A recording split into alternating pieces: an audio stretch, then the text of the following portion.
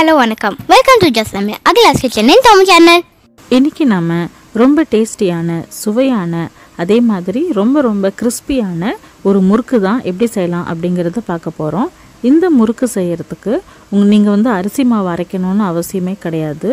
ஆமாங்க. இந்த முறுக்கு வந்து நாம் மீதமான சாதம் இருக்குது இல்லைங்களா? அந்த சாதத்தை யூஸ் பண்ணி தான் இந்த ஒரு கிறிஸ்பியான முறுக்கை செய்ய போகிறோம் இதை வந்து நீங்கள் மீதமான சாதத்தில் தான் பண்ணியிருக்கீங்க அப்படின்னு சொன்னால் கண்டிப்பாக யாருமே நம்ப மாட்டாங்க. என்னுடைய வீடியோஸ் நீங்கள் இப்போ தான் ஃபர்ஸ்ட் டைம் பார்க்குறதா இருந்ததுன்னா என்னோட சேனலுக்கு நீங்கள் சப்ஸ்கிரைப் பண்ணிக்கோங்க. அதே மாதிரி என்னுடைய வீடியோஸ் உங்களுக்கு பிடிச்சிருக்கு அப்படின்னா நோட்டிஃபிகேஷன் பெல் ஐக்கானையும் நீங்கள் கிளிக் பண்ணிக்கலாம். அப்போ தான் நான் புதுசாக போடுற எல்லா வீடியோஸும் வந்து உங்களுக்கு நோட்டிஃபிகேஷனில் வரும். வாங்க இப்போ செய்முறை எப்படிங்கிறத நம்ம பார்ப்போம்.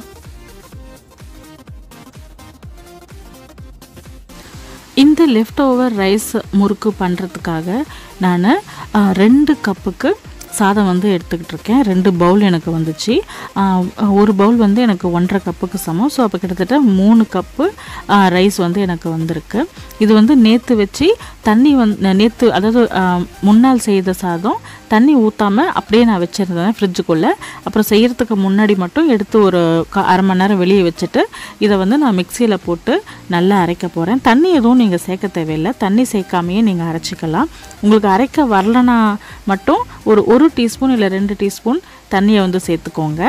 நல்லா அரைச்ச பிறகு இப்படி ஒரு பவுலில் நாம் சேர்த்துட்டு ஒரு- ஒரு கப்பு ஃபுல்லாக பொட்டுக்கடலை மாவை வந்து இது கூட சேர்த்துக்கலாம். நான் ரெண்டு அரை கப்பு மெஷரிங் கப்பில் சேர்த்ததுனால ரெண்டு வாட்டி சேர்த்துருக்கேன். ஸோ சேர்த்த பிறகு இதுக்கு தேவையான அளவு உப்பை வந்து சேர்த்துக்கலாம். கூடவே கொஞ்சமாக பெருங்காயத்தூளையும் நாம் சேர்த்துக்கலாம். பிறகு ஒரு டீஸ்பூன் ஜீரகம் இல்லைன்னா அந்த அஜ்வைன் சீட்ஸ் அதாவது ஓமம் சொல்லுவாங்க இல்லையா அதை சேர்த்துக்கலாம். கூடவே ஒரு டீஸ்பூனுக்கு வெள்ளை எள்ளு அதையும் சேர்த்துக்கலாம். அதன் பிறகு நம்ம வந்து ஒரு குழி குழிக்கரண்டிக்கு சூடான எண்ணெயை வந்து சேர்த்து இதை நல்லா இப்போ நம்ம பிசைய போகிறோம் பார்த்து எண்ணெய் வந்து நல்லா சூடாக இருக்கிறதுனால கொஞ்சம் கவனமாக நீங்கள் பிசைஞ்சுக்கோங்க. கையை சுட்டுக்காதீங்க. ஸோ இதுக்கு வந்து தண்ணி ஆக்சுவலாக ஊற்றி பிசையணும்னு தேவைப்படாது. ஆக்சுவலாக தண்ணி தேவைப்படாது. ஏன்னா சாதத்துலேயே வந்து கரெக்டாக இருக்கும் தண்ணி. ஸோ அதனால் நீங்கள் நல்லா பிசைஞ்சு கொஞ்சம் கட்டியாக கட்டியாக இருக்கிற மாதிரி எடுத்துக்கோங்க. அதே சமயத்தில் கொஞ்சம் சாஃப்டாகவும் இருக்கணும். சப்போஸ் உங்களுக்கு ரொம்ப தண்ணி ஆயிடுச்சு ரொம்ப தண்ணி குழகுழன்னு இருக்கிற மாதிரி இருக்குங்கிற ஃபீலிங் வந்ததுனா மட்டும் நீங்கள் ஒரு ரெண்டு டீஸ்பூன் இல்லை மூணு டீஸ்பூன் இல்லை உங்களுக்கு தேவையான அளவு அரிசி மாவை இது கூட சேர்த்துக்கலாம். ஸோ இந்த கட்டி பதம் கண்டிப்பாக உங்களுக்கு வரணும். இப்போ இந்த மாதிரி மூணு ஓட்டையுள்ள முறுக்கு அச்சை வந்து எடுத்துக்கோங்க. உங்களுக்கு தேவைன்னா முள்ளு முறுக்கு அச்சு கூட எடுத்துக்கலாம். நான் இந்த மூணு ஓட்டை உள்ள அச்சை எடுத்துட்டுருக்கேன் ஸோ இதில் வந்து இப்போ மு முறுக்கு குழலில் வந்து சைட்லலாம் வந்து லைட்டாக எண்ணெயை வந்து நீங்கள் தடவிக்கோங்க.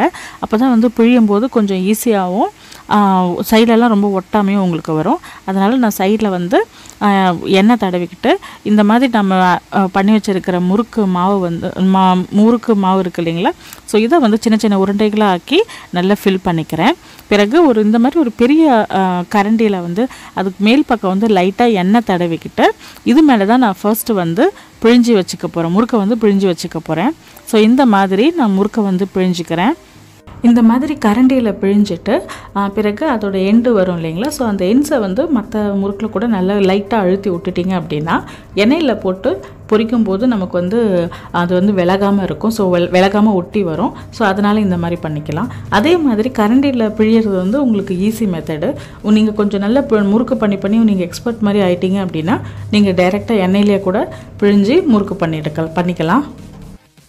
இப்போ ஒரு கடாயில் தேவையான அளவு எண்ணெய் விட்டு மீடியம் ஃப்ளேம்லேயே வந்து சூடுபடுங்க ஸோ எண்ணெய் வந்து நல்லா சூடானதும் கொஞ்சமாக முறுக்கு மாவை எடுத்து கிள்ளி போட்டு பாருங்கள் ஸோ அது நல்லா பொரிஞ்சு வந்தது அப்படின்னா நம்ம மற்ற முறுக்குங்களை இதில் போடலாம். ஸோ இப்போ போடுறது வந்து டைரெக்டாக எடுத்து போடாமல் அப்படியே ஒரு ஸ்பூனை வச்சு லைட்டாக இந்த மாதிரி நீங்கள் தள்ளி விட்டீங்க அப்படின்னா அது கரெக்டாக போயிட்டு எண்ணெயில் விழுந்துடும். ஸோ எண்ணெய்லாம் வந்து உங்களுக்கு மேலே தளிக்காது. ஸோ உங்கள் கையெல்லாம் வந்து நீங்கள் சுட்டுக்காமல் கரெக்டாக பண்ணலாம். ஸோ இது வந்து நல்ல மீடியம் ஃப்ளேம்லேயே வச்சு பண்ணுங்கள் அப்போ தான் வந்து எல்லாமே எல்லா சைடும் வந்து முறுக்கு நல்ல கிறிஸ்பி ஆகும். லோ ஃப்ளேம்லேயும் இல்லை ஹை ஃப்ளேம்லேயும் வச்சு பண்ண வேண்டாம். ஸோ இப்போ அதே மாதிரி அந்த ஒரு நீங்கள் முறுக்கு போடும்போது நல்ல இஷ்யூ சவுண்டு வந்து உங்களுக்கு வரும். ஸோ அது ஓரளவு கொஞ்சம் அடங்கின பிறகு நீங்கள் பார்த்தீங்க அப்படின்னா முறுக்கை வந்து நீங்கள் எடுத்துடலாம். ரொம்ப நேரம் இருக்கணும்னு அவசியம் கிடையாது. ஸோ அவ்வளோதாங்க இந்த மாதிரி அழகாக எடுத்து வச்சாச்சு. இதே மாதிரி நீங்கள் மற்ற முறுக்குங்களையும் பண்ணிட்டீங்க பண்ணுங்கள் பண்ணுங்க. அவ்வளோதாங்க எவ்வளோ சூப்பராக வந்திருக்கு பாருங்கள் நம்மளோட நம்முடைய left over rice murukku. So உங்களுக்கு வந்து நம்ம அரிசி மாவுலாம் அவ்வளோவா சேர்க்கவே இல்லை. அரிசி மாவுலாம் இல்லாமல் நார்மல் ரைஸ் சாதத்தில் வந்து நான் பண்ணினேன் இந்த முறுக்கை. ரொம்ப சூப்பராகவும் டேஸ்ட்டாகவும் வந்திருக்கு. நீங்கள் மீதமான சாதத்தை தூக்கி போடாமல் இந்த மாதிரி யூஸ்ஃபுல்லாக பண்ணி கொடுத்தீங்க அப்படின்னா கண்டிப்பாக எல்லாருமே விரும்பி சாப்பிடுவாங்க. அதே மாதிரி நான் முன்ன சொன்ன மாதிரி உங்கள் சாதம் வந்து கொஞ்சம் சாஃப்டாகிடுச்சு அப்படின்னா மட்டும் நீங்கள் ஃபீல் பண்ணீங்க அப்படின்னா மட்டும் நீங்கள் அரிசி மாவை சேர்த்து இந்த முறுக்கை பண்ணலாம். அப்படி இல்லைன்னா நீங்கள் சேர்க்கணுன்னு அவசியம் கிடையாது. நீங்களும் இந்த ரெசிபியை வீட்டில் செஞ்சு பாருங்கள் செஞ்சு பார்த்துட்டு உங்களுக்கு எப்படி வந்தது அப்படின்னு சொல்லிட்டு எனக்கு கமெண்ட் பண்ணுங்க. இந்த வீடியோ உங்களுக்கு பிடிச்சிருந்ததுன்னா லைக் பண்ணுங்கள் ஷேர் பண்ணுங்கள் மற்றும் சப்ஸ்கிரைப் பண்ணுங்கள் அதே மாதிரி என்னுடைய வீடியோஸ் உங்களுக்கு நோட்டிஃபிகேஷன் வரணும் அப்படின்னா பெல் ஐக்கானை கிளிக் பண்ணிக்கோங்க. மீண்டும் வேறொரு புதிய வீடியோவுடன் உங்களை நான் சந்திக்கிறேன். அதுவரை வீடியோ பார்த்ததுக்கு மிக்க நன்றி. ரசிச்சு ரசிச்சு சமைங்க. ருசிச்சு ருசிச்சு சாப்பிடுங்க.